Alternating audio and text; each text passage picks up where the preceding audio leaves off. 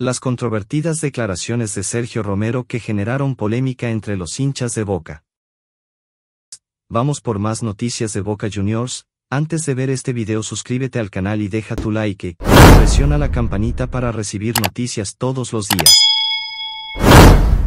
Tras el empate de Boca en Santa Fe, Sergio Romero realizó declaraciones que no estuvieron acordes a la realidad y generaron burlas y enfado tanto dentro como fuera del club.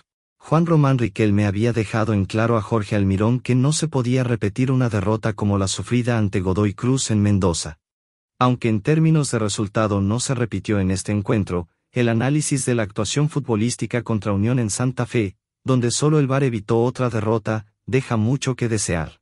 Una vez más, Boca quedó en deuda y sorprendió que tanto el entrenador como algunos jugadores mostraran un discurso conformista.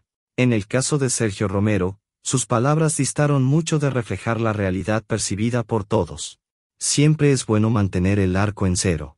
Nos da confianza y fortalece al equipo. En momentos, ellos tuvieron sus oportunidades, no vamos a negar que llegaron con claridad. Jugamos bien en el primer tiempo, pero no pudimos concretar nuestras ocasiones claras. Mientras no perdamos y no nos hagan goles, es positivo, comenzó diciendo el exarquero de la selección argentina. Y continuó, tenemos un entrenador que ha traído una idea de juego y se nota un cambio en el equipo. Hoy en día vemos a otro Boca. Estamos haciendo lo mejor posible, aunque nos cuesta marcar goles, pero paso a paso estamos mostrando un buen nivel entre nosotros. A largo plazo, esta idea también da resultados. Es importante no perder y es positivo mantener el arco en cero para seguir mejorando. La reacción de los hinchas de Boca no se hizo esperar en las redes sociales, predominando el enojo y la frustración.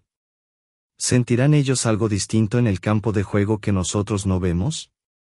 Porque en muchos partidos el rendimiento ha sido pésimo a pesar de la supuesta idea de juego, expresó un hincha.